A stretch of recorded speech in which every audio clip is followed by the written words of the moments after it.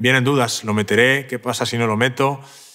Automáticamente eh, yo creo que las dudas para, para un jugador o para alguien que hace deporte es lo peor que puede existir y hay que intentar despejarlas. Primero hay que identificarlas, saber que tienes las dudas.